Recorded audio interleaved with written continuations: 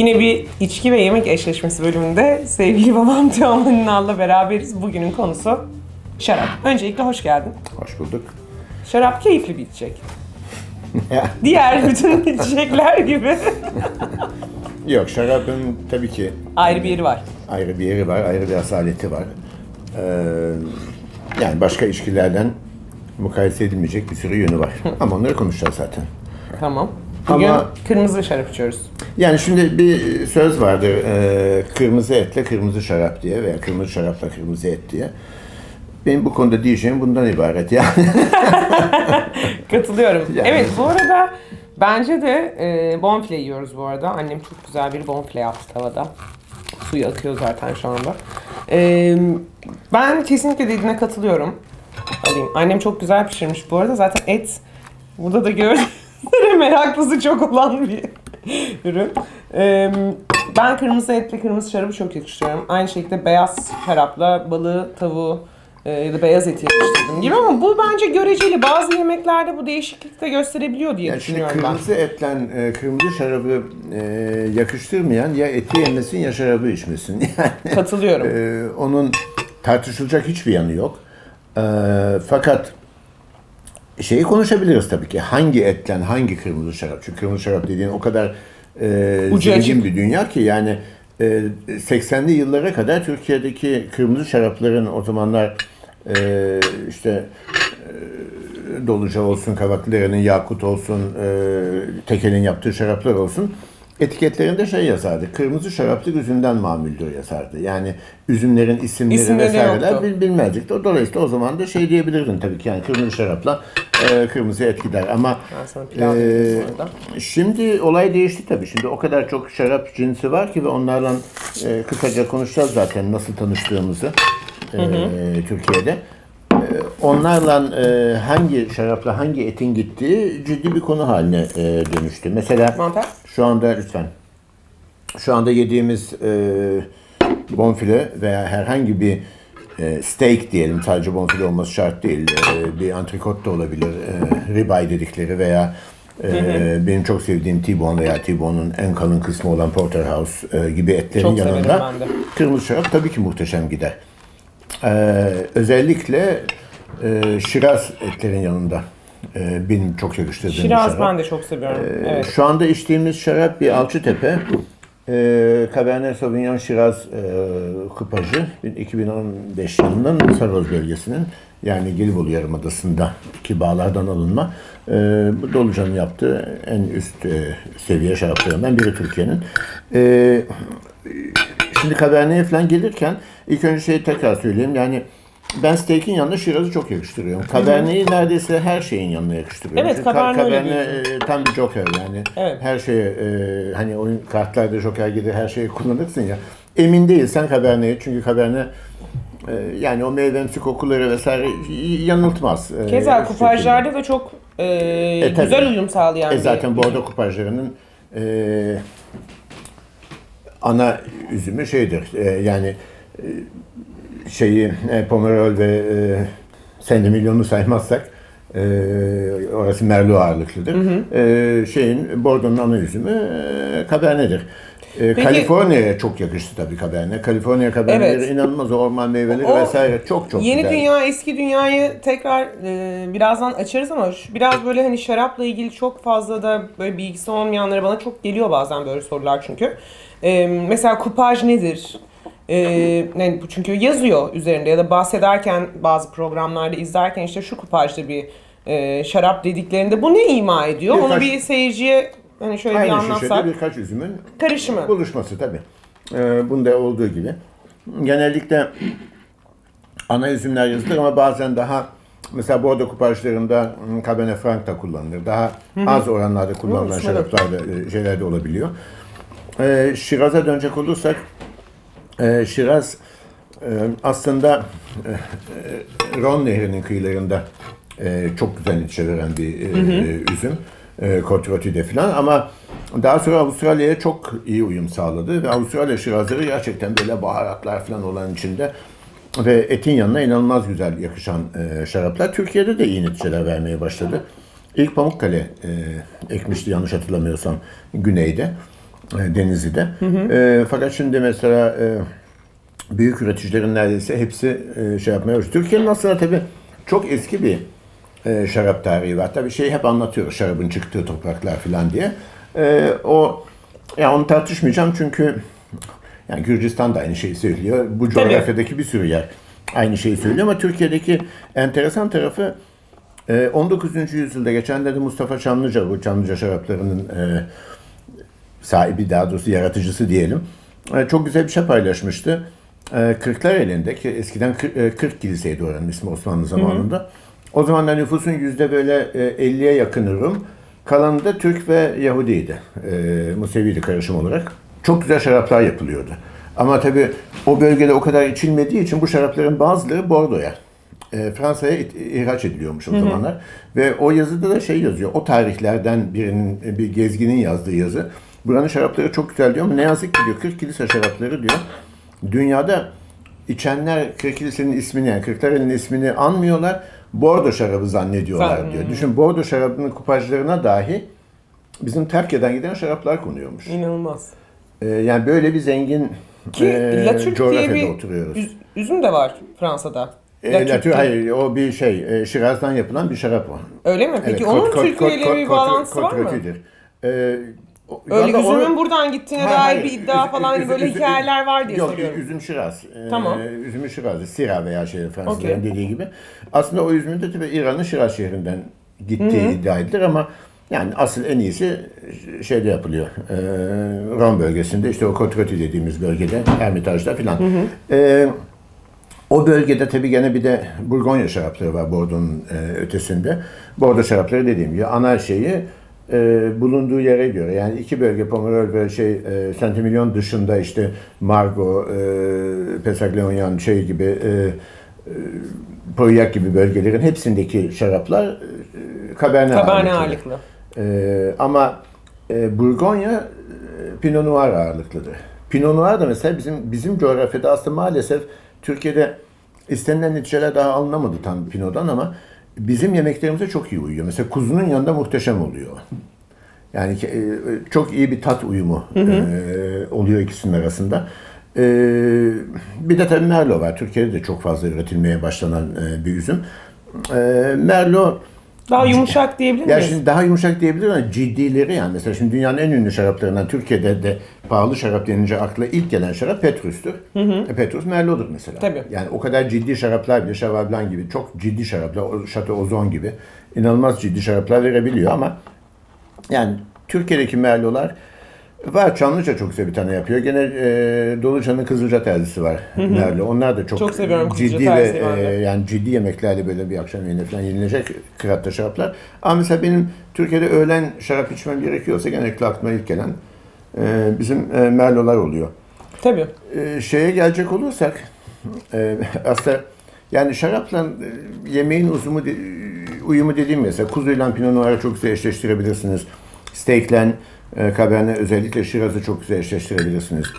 E, beyaz şaraplar ben beyaz şarapları yemekten ziyade aslında aperatif olarak seviyorum. Yani ye- yemekten önce böyle ilkbaharda mesela inanılmaz güzel oluyor bir Chardonnay veya bir Sauvignon Blanc'ı içmek.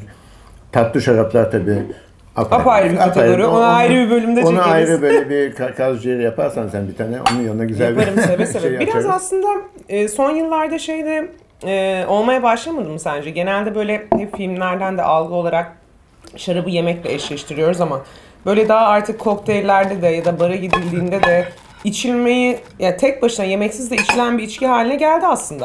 Ya şimdi yani bana sorarsan şimdi böyle bir steakle güzel bir kırmızı şarap eee, hele işte böyle su- kanı suyu diyelim e, tabağına akmış olan bir steak'in yanında daha o damağındayken onu bir kırmızı şarapla eşleştirmek muhteşem Mükemmel. güzel oluyor. Yani o, o mükemmel ama e, şarabın şöyle bir e, avantajı ve dezavantajı var.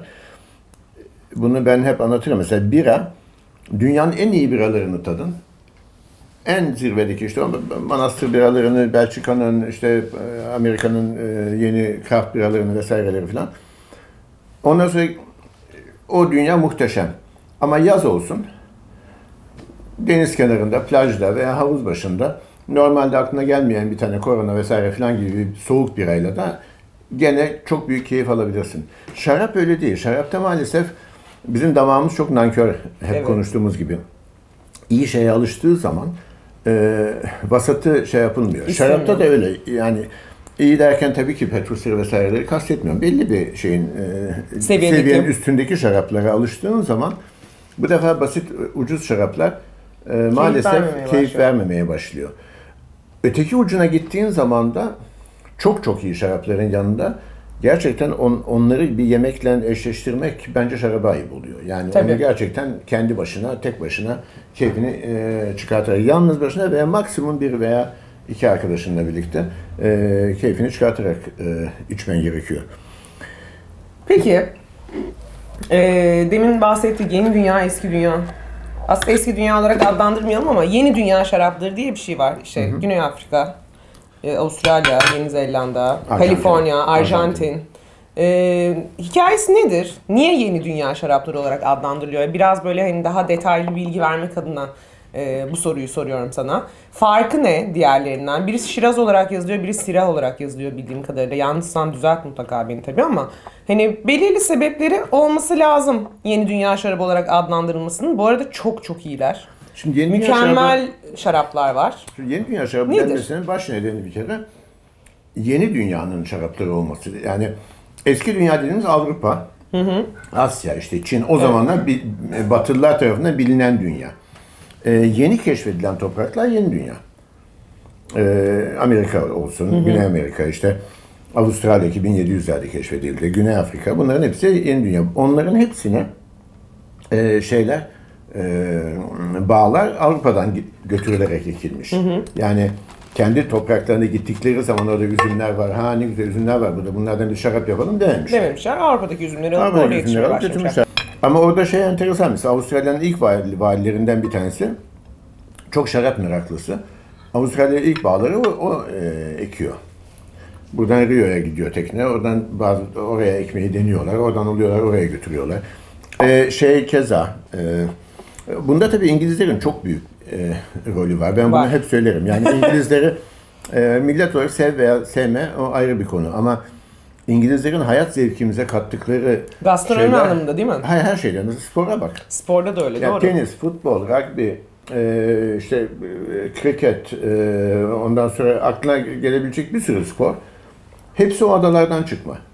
Tabii. Ve e, sömürge imparatorlukları sayesinde de bütün dünya- dünyaya yaymışlar bunları.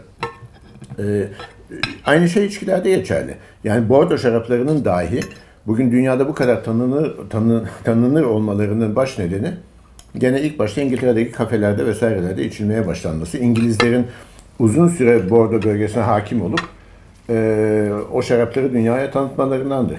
Bugün Konyak'a gidiyorsun hala Konyak'taki bir sürü Hine gibi, Hennessy gibi isimler hepsi İrlandalı, İngiliz. Port'a bakıyorsun, Sherry'e bakıyorsun. Graham Hepsinin hakimi, tabii. hakimi gene İngilizler. E, dolayısıyla şarapta da İngilizlerin çok büyük hizmeti var. Kolonilerde de bunun aynısını yapmışlar işte. E, ama tabii İspanyollar da aynen yani e, Arjantin'e gittikleri zaman tabii ki e, şarap içmek istemişler. Tabii.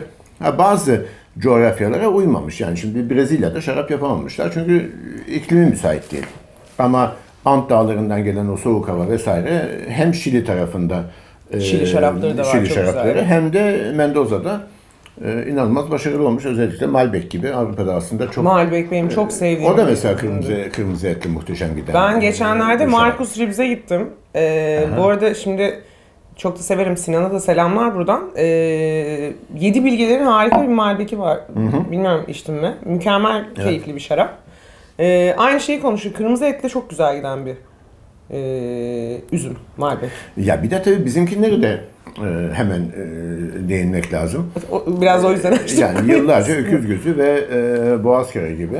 Tabii. E, Kırmızı bugün zaten kırmızıdan gidiyoruz. Yani beyazlar Bugün kırmızı, beyazı bir, daha s- ilkbahara doğru böyle İlkbahara bahçede doğru. oturup bir e, aperatif anlamında onları konuşalım.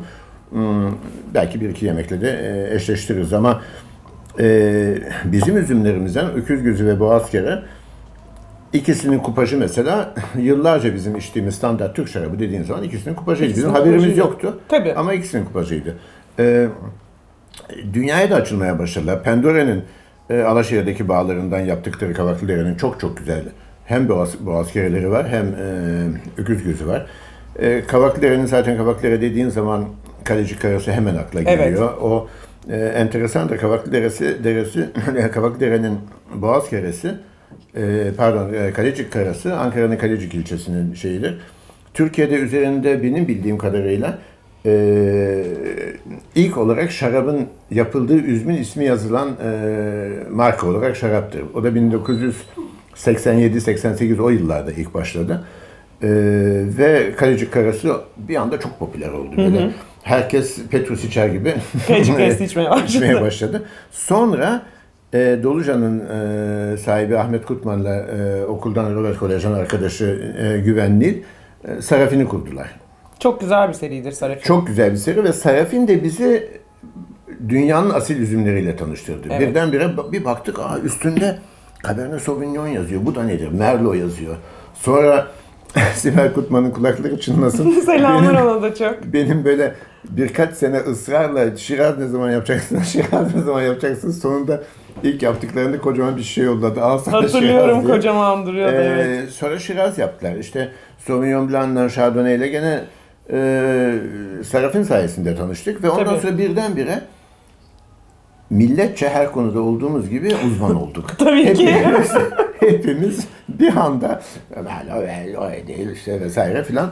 Ee, ama bu çok güzel oldu tabii. Yani şarap dünyamızı inanılmaz e, zenginleştirdi. Ondan sonra Akın Öngör işte Selendi ile e, şimdi yani gerçekten isimlerini söylemediklerim bil- e, düşün- affetsinler ama sevilen çok güzel işler yaptı. Selendi, Ee, Sevilen, yani, Gülor, e, e, Pamukkale'yi Pamukkale, e, Büyülübağ, aynen Büyülübağ e, Kabernet- Yedi Bilgeler. E, Mustafa Çamlıca şey e, Barbara yani gerçekten Barbara, evet. e, çok güzel ve gittikçe artıyor işte şimdi Portakaylı var vesaire. Evet, Bir çok sürü- ufak. e, ve şey de çok güzel olmaya başladı. O çok hoşuma gidiyor.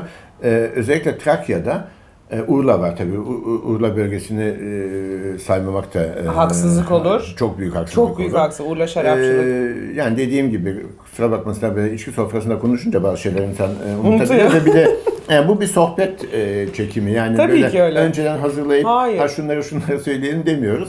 E, ama e, şey de çok güzel olmaya başladı. Özellikle Trakya'da şimdi Trakya Bağ Yolu diye bir şey e, Evet. yaptılar ve neredeyse her şarap e, evi orada e, küçük böyle oteller yapmaya başladılar ki o mesela Avustralya'da Barossa Vadisi var.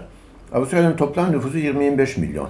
Barossa Vadisi Adelaide yakınlarında yani Avustralya'nın aslında Melbourne, e, Sydney kadar önemli olmayan bir şehrine yakın.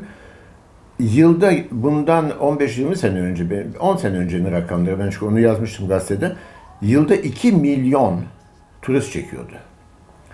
Biz Güney Afrika'ya gittik mesela o Franschhoek, e, şey e, Stellenbosch filan o şarap bölgesine Parla. Ya inanılmaz bir e, şey, e, ekonomiye inanılmaz bir katkısı var.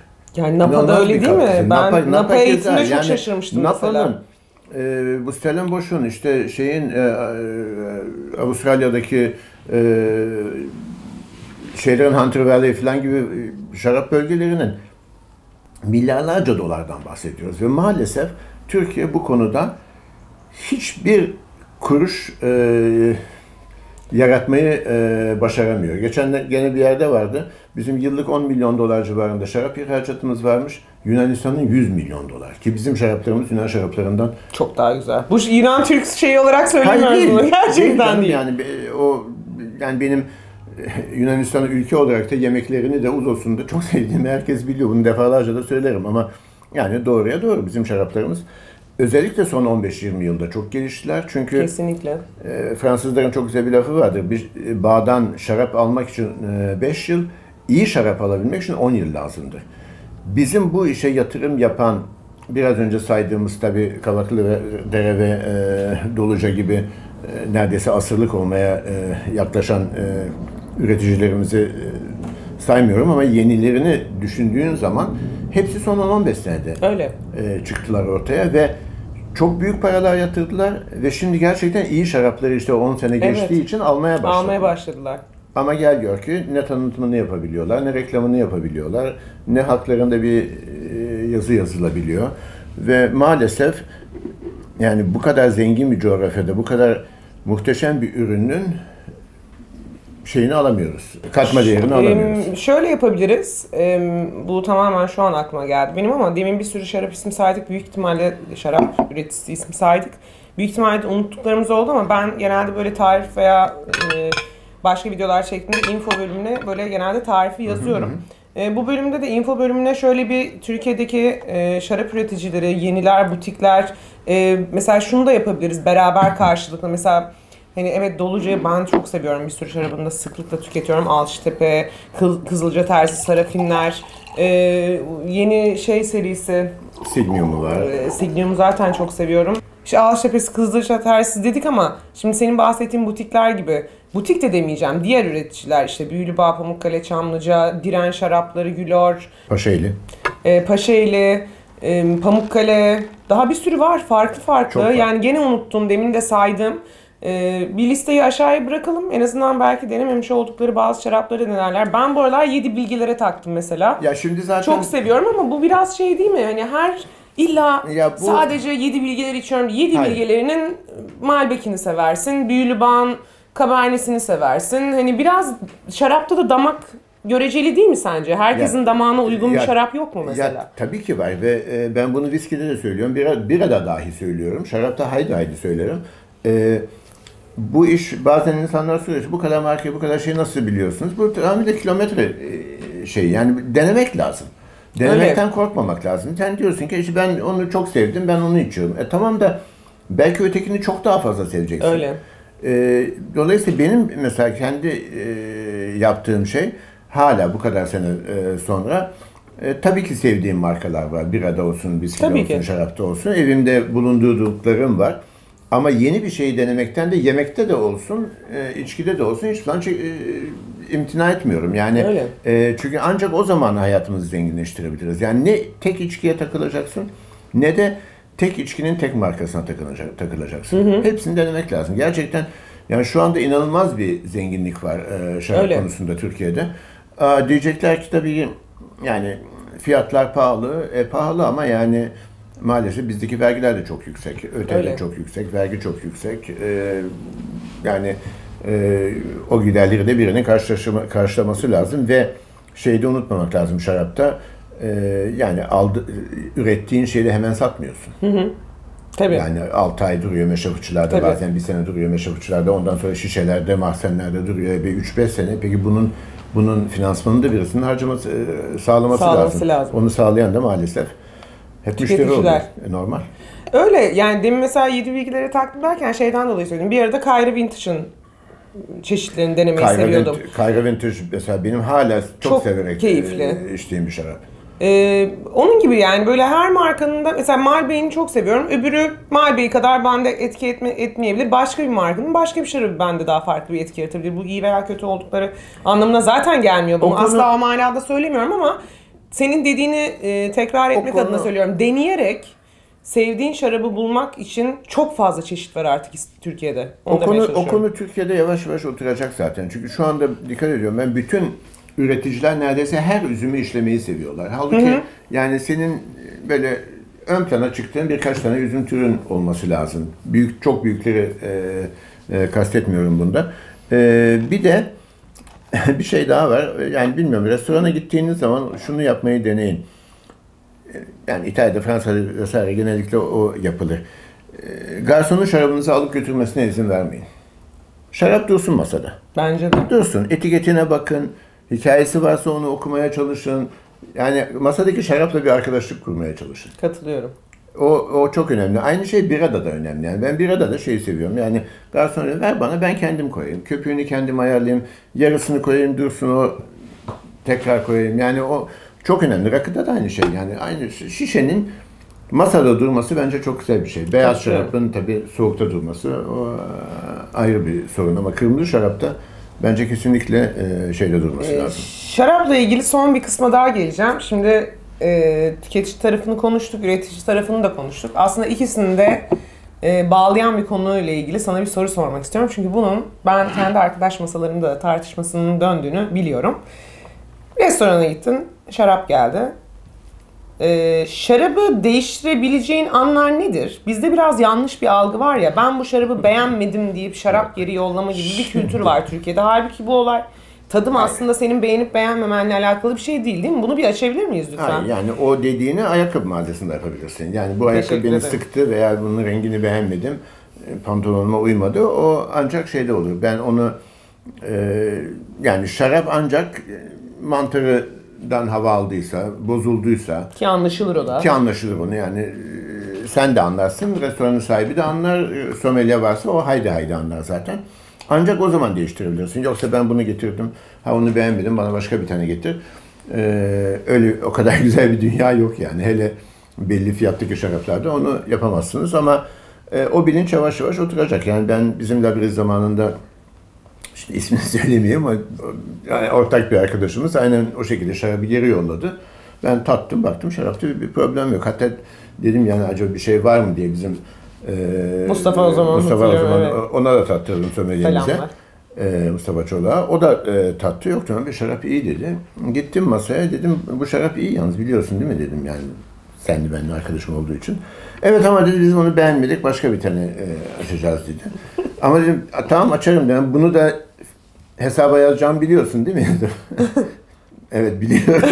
işte sorun buydu o aslında. kadar yani biraz. çünkü ben bunu beğenmedim diye 300-500 liralık 1000 liralık bir şarap açtırıp ondan sonra yani o zaman 8 tane dene o şarapları ne yapacak müessese? Yani o yok ona, ona alışacaklar ama yani o hiçbir şey sen yemekte aynı şeyi yapabiliyor musun? Yapamıyorsun. Ben yok tavuk tavuk benim ağız tabak tadıma göre değilmiş deyip değiştiremiyorsun genelde. Ya onu yapan var tabii yani bizim e, vaktiyle restoranımızda şey de oldu yani kadın tavuk istedi ondan sonra yemedi. Niye? Niye Evet. dedim ben tavuk sevmem dedi o zaman diyesi yani ondan sonra onu hesaba yazmayın öyle bir şey yok ama tabii restoranlar da şeye dikkat ediyor e, haliyle. Yani bir masada bir tane tavuktan dolayı bir huzursuzluk çıkmasın, e, müşteri bağırmasın, çağırmasın. Çünkü o zaman herkes rahatsız oluyor. E, Senin zararın o tavuğun fiyatından daha fazla oluyor. O e, tabii böyle yapın demiyorum ki. Peki. Biraz şey tüyo vermek gibi oldu ama. Son bir iki sorum daha olacak sonra. Yani deminden yani e, sorulardan önce tekrar şeyi tekrarlayayım. Yani gerçekten kırmızı şarapla e, yemek uyumu üzerine çok fazla konuşmadık çünkü yani haddim değil diyeceğim. Çünkü gerçekten kırmızı etler e, çok güzel gidiyor. Onun dışındaki Şarküteri. yemeklerden bir sürüsünde benim e, tabii, ki peynir de çok güzel gidiyor. Peynirin büyük çoğunluğu. E, onu belki ayrı bir program yapalım. E, belki e, Neşe Biber'le e, Berin de çağırırız şey üzerine. E, Türk peynirleri üzerine. Çünkü Aa, inanılmaz muhteşem güzel Türk peynirleri var. E, inanılmaz güzel bir dünya. Onlarla çok güzel gidiyor. Ama ya benim katılmadığım şeyler var. Yani mesela bizim Mehmet Yalçın gene onun da kulakları çınlasın. Çok zorluyor. E, işte Adana kebabıyla Şiraz. E, Yok. olmuyor kardeşim kusura bakma evet olmuyor. yani ondan sonra e, yani bir meze sofrasında Makarna? Gene olmuyor. Ya e, makarnayla olur tabii ki. Yani e, bak şeyle değil o kadar. E, Napolitenden değil yani pomodoroyla sırf domates sosuyla değil ama bir bir ragunun yanında, bir bolognese'in yanında tabii ki olur. Şarküteriyle tabii ki gider. Yani e, jambonlarla şeylerle yani onlarla gitmemesine e, imkan yok. Eee Pizzayla yani gene ben biraya gideceğim. Biraya pizzada. gideceğim ben Evet, de. Pizzada e, biraya gideceğim. Gitmez değil ama e, pizzayla birayı e, Burada şunu diyen olabilir ama yorum olarak. E, İtalyanlar da bilmiyorlar mı o zaman niye pizza ile şarap içiyorlar derlerse bize mesela. E şimdi bir şey söyleyeyim mi? İçmiyorlar. tamam işte Yani- soruyorum ben bu Yani soruyu. bu gerçekten e, Yanlış be- bir algı. beni, beni bazen kızdıran bir algı. Yani bugün İspanya gibi ülkede e, akşam tapas barlarına git. içilen ana içki biradır. Bira. İtalya'da gidin şeye e, bir tane Pizzacı. yani böyle Pizzeria. şey demiyorum ama bir restorantede değil. Ha pizzeriya Yani bir tane pizzeriaya gidin. Tam böyle hardcore pizzeriaya git. İçilen şey gene Bira. yüzde 70-80 minimum yüzde 70-80. Biraz kebap mantı olabilir mi? Yağ, peynir, o Aynen et, yani hani ta- tabii ki. yoğunluk. Yani Güney Af- Avrupa ülkelerinde e, içilen biranın miktarı hep şey yapılıyor. E, küçümseniyor. E, Fransa dahil buna. Fransa'da da çok bira içiliyor. Yani Fransa'da yani brasserie dediğin zaman geçen gün gördüm bir tane e, çok da hoşuma gitti. Şimdi ismini söyleyemem. Bir tane fırın şirketlerimizden işte bu e, zincirlerden bir tanesi. İşte bilmem ne fırın kafe brasserie yazmış. muhtemelen alkol servisi olmayacak. E, brasserie demek bira yapılan Ve ve bira satılan. satılan yer demek. Yani e, brasörden gelir. E, Yani Türkiye'de yanlış kelime olarak kullanılıyor yanlış kelime aslında. olarak kullanılıyor. İşte aynı şekilde de e, şey daha kaliteli bir içki olarak göründüğü için e, şarap. İşte orada herkes şarap içiyor zannediyor. Hayır işte bu da şeyi e, getiriyor gene. E, biraz önce konuştuğumuz konuyu kapatmak için de güzel bir vesile oldu. E, biraz önce konuştuğumuz şeye geliyor. Her içkinin yeri var. Her Var. içkinin zamanı var. Her içkinin kendi yemeği var. Katılıyorum. Ee, İtalya'da öğlen pizzasıyla e, bira içen adam akşamleyin etiyle, şuyla, buyla veya hatta makarnasıyla şarabını, Şarabını içiyor. içiyor. Belki akşam pizzayla da şarabını içiyor. Evet. O gün ya canınız ne istiyorsa o aslında. Bu işin özeti bu. Bu kadar e, çok derinlere, detaylara e, şeyler, bu kurallar. işte kırmızı et, kırmızı şarap vesaire aslında rehberdir. Rehber. O rehberi siz e, yani bir şehre gittiğiniz zaman elinizde rehber kitap varsa illa o kitaptaki şeyleri mi yapıyorsunuz? Hayır. En bir şehri gezdiğiniz zaman en yapacağınız en güzel şey sokaklarına dalıp kaybolmaktır.